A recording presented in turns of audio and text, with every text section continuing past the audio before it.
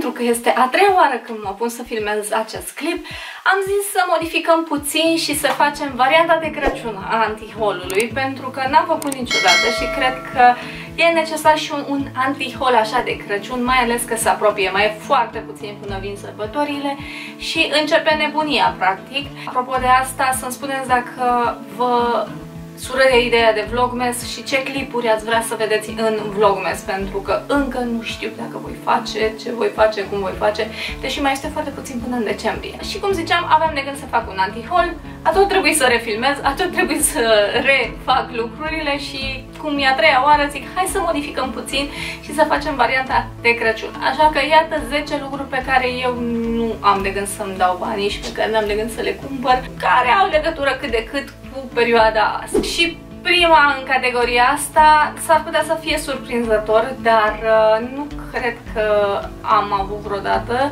pijamale de Crăciun și nu cred că mă interesează ideea de pijamale de Crăciun. Mai degrabă uh, mi-aș lua niște pijamale pe care să știu că le pot purta, nu știu, întreg sezonul și pe care pot să le țin o perioadă mai lungă, dar pijamale de Crăciun nu. Uh, și în ceea ce privește hainele sau, nu știu, chestiile astea tematice, cum ar fi puloverele, am foarte puține, cred că am două sau trei maxim uh, de Crăciun și mi-e de ajuns, adică, nu știu, poate să mai adaug unul, două la colecție așa ca diversitate pentru că filmez. Dar uh, în ideea de a le purta în exterior, afară, no way. Uh, deci, uh, mi se par puțin uh, nepractice, ca să spun așa. Da, știu, sunt festive, par drăguțe, mai ales când are toată familia așa și poți să faci o poză de familie. Sunt foarte drăguțe pozele alea, nimic de zis, dar pentru mine nu, nu, nu sunt ceva practic și nu cred că mă atrag. Prefer, dacă vreți, ca variantă de Crăciun a pijamalelor alea în pled, știți, în dungile alea uh, clasice cum ar veni, alea da, mi se par mai ok, pentru că pe alea poți să le porți și în restul anului fără să te gândești neapărat la Crăciun.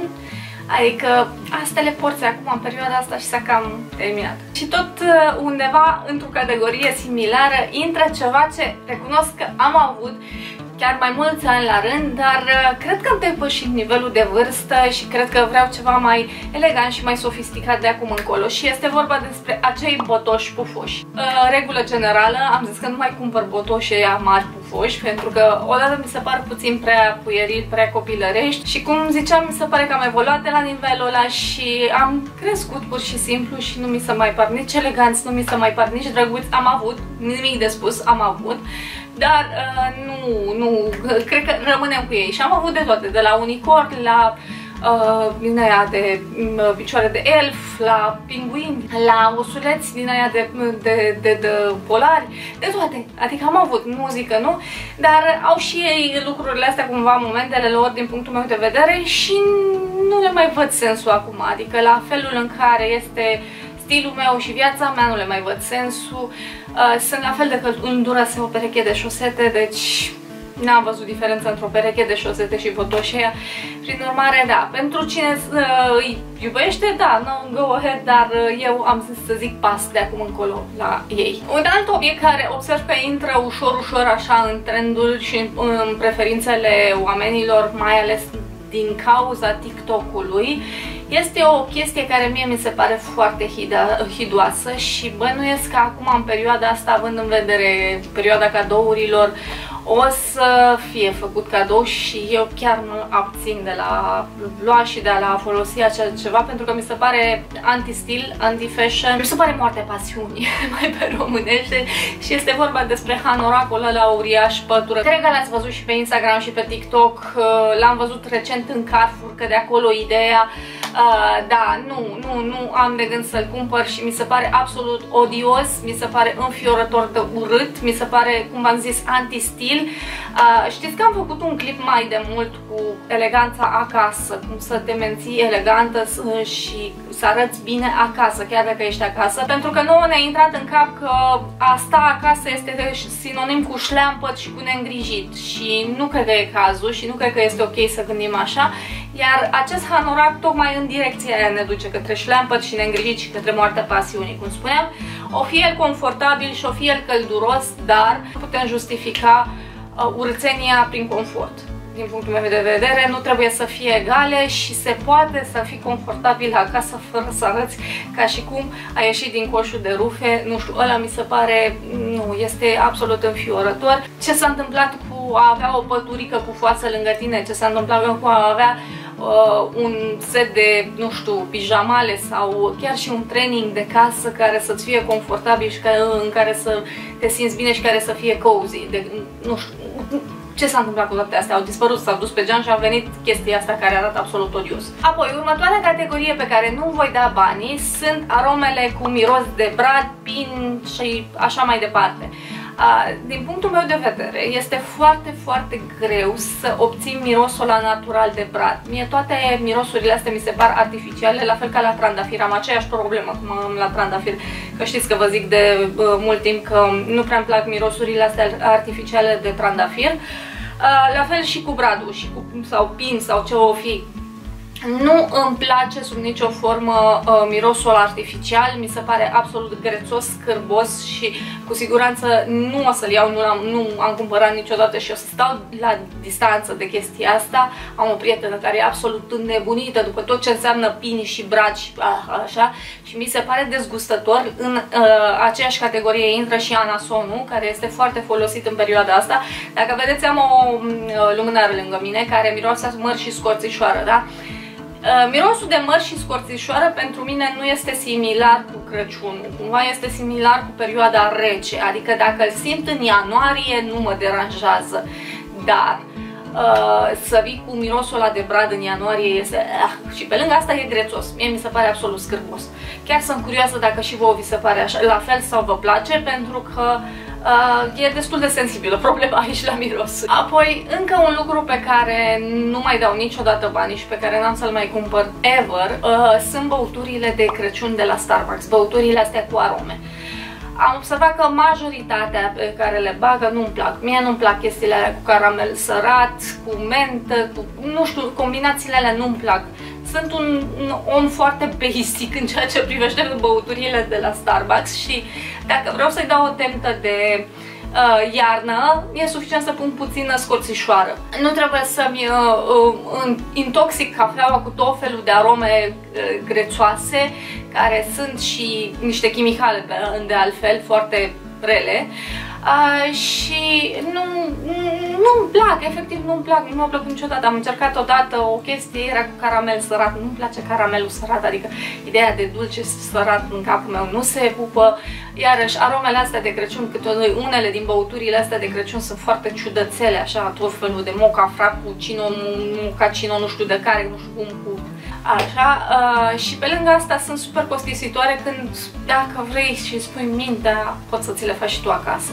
Adică uh, poți să-ți faci și tu o cafea mult mai aromată și mult mai gustoasă acasă, fără nicio chestie și v-am zis, e suficient să pui puțină scorțișoară și deja capătă o tentă de iarnă și de Crăciun, dacă vreți. Tot cumva în zona asta și la categoria asta intră mâncare și prea multă mâncare pe care avem noi obiceiul de a o consuma în perioada sărbătorilor și sau de, nu neapărat de a o consuma, cât de a o cumpăra și de a o face. Este isteria asta generală de a face tone de mâncare uh, ce va fi aruncată în mare parte, adică dacă ne uităm la uh, câteva zile după Crăciun, sunt pline tomberoanele, sunt pline ghenele de gunoi de mâncare, uh, ceea ce este foarte trist și contraproductiv din punctul meu de vedere și am renunțat de mult, mă apucase și pe mine să fac și de aia, să fac și de aia, să fac și de aia, să fac și de aia.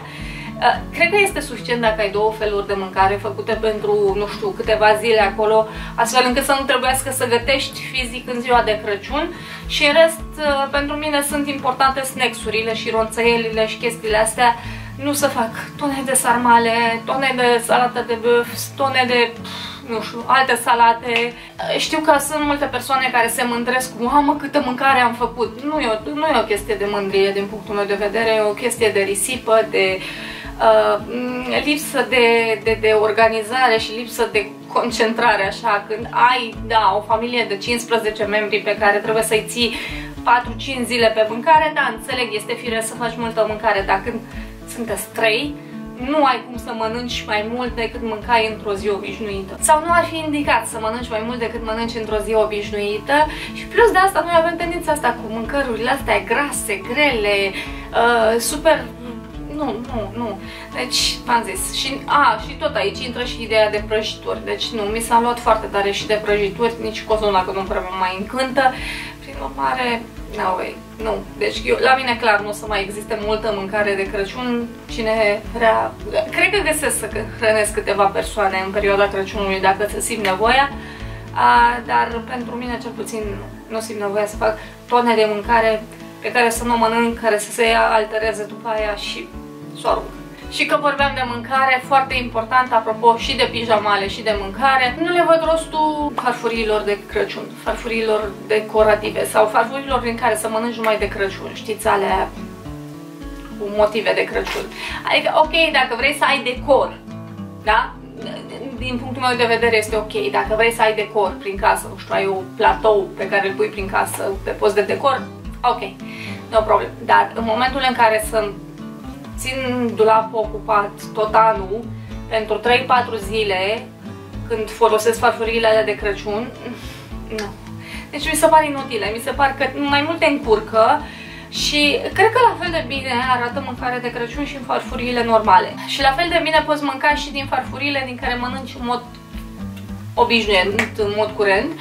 Așa că, da, ăsta este iarăși un punct în care nu trebuie să vă ambalați, să vă chinuiți se pot realiza niște aranjamente de masă foarte ok cu farfuriile alea standard albe pe care le ai sau mă rog cum or fi ele, adică nu trebuie neapărat să dai pe din afară și uh, ca uh, recomandare generală dacă aveți uh, niște farfurii minimaliste și cumva neutre, cum ziceam, de cele albe, alea se potrivesc în orice context. Și de Paște, și de Crăciun, și de Halloween, și de, nu știu, ziua onomastica, nu știu cui, și de când vreți voi, da? Așa că data viitoare când vă cumpărați veselă, orientați-vă către ceva neutru, uh, nu neapărat către ceva cu motiv anume, ca să nu mai aveți durerea asta de cap. Și ca să mai distrug câteva vise, nu am să cumpăr, cred că și n-am mai cumpărat de foarte mulți ani și nici n-am să mai cumpăr uh, bomboane de Crăciun. Uh, nu-mi plac. și cred că singurul motiv pentru care îmi plăceau când eram copil uh, a fost faptul că nu aveam acces la alte dulciuri. Adică erau singurele mele dulciuri la care avem acces, știți, și cumva le furam și da, făceam și eu chestia asta pentru că pe vremea când eram eu copil se puneau în brad, bomboanele de brad și făceam chestia asta, să mă duc prin spatele bradului, să desfac um, să desfac ambalajul, să iau bomboana și să las ambalajul acolo și după aia să trezea bunica mea cu bradul chelit de bomboane și mă să întreba dar ce Dumnezeu s-a întâmplat. Bineînțeles că știa ce s-a întâmplat, dar se făcea și ea că uită. Nu-mi plac. Nu place gustul ăla. Practic este niște zahăr. Acolo amestecat cu ceva jeleu sau cu, cu ciocolată uh, care nu e nici caramelizat, nu e nici, nici e o pastă de zahăr, pur și simplu, care nici nu-i prea închegată acolo, nu, nu, nu-mi place și aromele alea de Crăciun, iarăși, nu, nu-mi plac.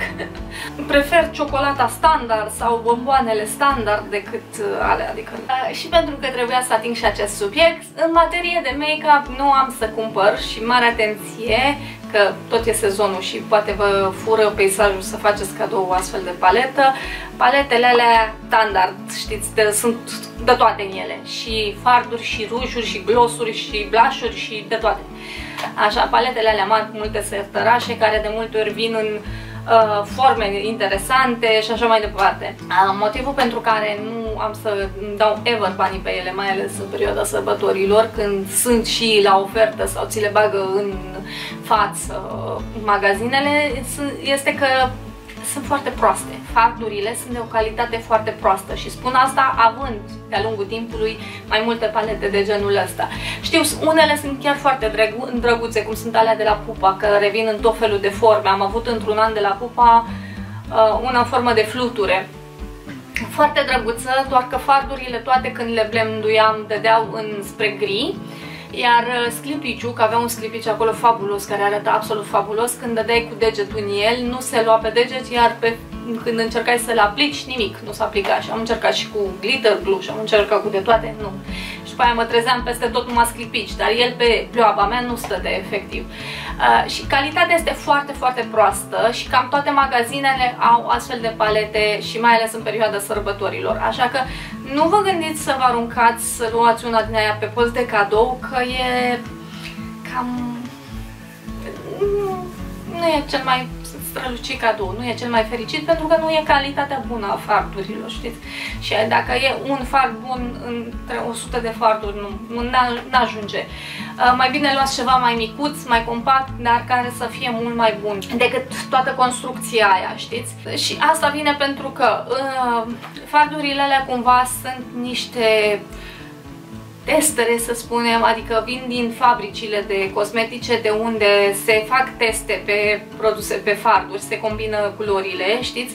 Și astea sunt chestii rămase pe dălături care n-au fost folosite și ca să nu arunce materia aia, prima o bagă niște farduri sau uh, sunt niște reziduri rămase pe acolo și dacă aveți curiozitatea să faceți comparația între o paletă bună de la, nu știu, uh, MAC, de la... Uh, spuneți voi orice paletă, inclusiv astea de drugstore, de la Catrice, sunt mult mai bune fardurile, o să vedeți diferența, este calitatea net superioară și se simte și cum se blenduiesc și cum se aplică și cum rezistă, uh, sunt, sunt net superioare, deci nu... Ca să nu mai vorbim de brandurile indie care își produc uh, produsele undeva în state, în Canada, în Europa, da, spre deosebire de astea care vin la pachet așa mare, care sunt produse în China unde controlul calității este absolut înfiorător, deci da. Uh, n-are sens să vă dați banii pe, pe ele și nu sunt nici cea mai bună idee de cadou, că da, arată drăguț că sunt multe și toate la grămadă, dar nu, nu spune, nu fac mare lucru. Apoi, ultimul lucru de pe lista mea, ah, nu mi-aș da banii pe Mm, edițiile limitate de Crăciun. Și vorbesc de în categoria de make-up în mod special, acea ediție limitată care se vede, care are packaging-ul ăla de Crăciun, care nu are nimic diferit de culoarea clasică, dar ambalajul este de Crăciun. Și era o modă când uh, m-am apucat eu de YouTube, Max scotea versiuni ale aceluiași produs, dar de Crăciun. Ambalajul se vedea clar că e de Crăciun. Acum, dacă era cum era într-un timp la YSL, era într-un an, au scos ăștia de la YSL, parfumul, cred că am trecut sau cu 2 ani, nu mai știu exact, parfumul, rujul și mascara într-un ambalaj din ăla cu glitter.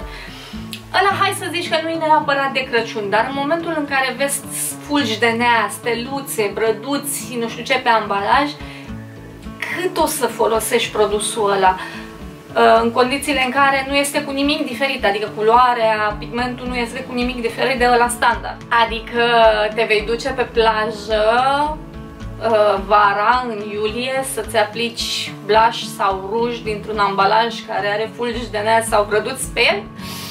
Da. E cam aiure, știți?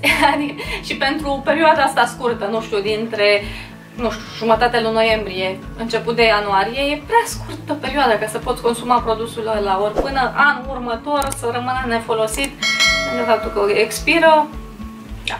Cam astea au fost produsele pe care eu nu-mi voi da banii, cam asta este anti-haul-ul meu așa cu Christmas Edition. Aș vrea să-mi spuneți ce ați cumpărat din lista asta pe care am făcut-o eu și ce nu ați cumpărat și de asemenea ce n-ați mai cumpărat voi, pe ce nu v-ați dat voi banii în perioada asta, în perioada sărbătorilor, că începe nebunia, începem cu uh, holurile de la Pepco, de la Jumbo, de la toate ale și începem cu toată nebunia de Crăciun, cu toată isteria cu vlogmasul.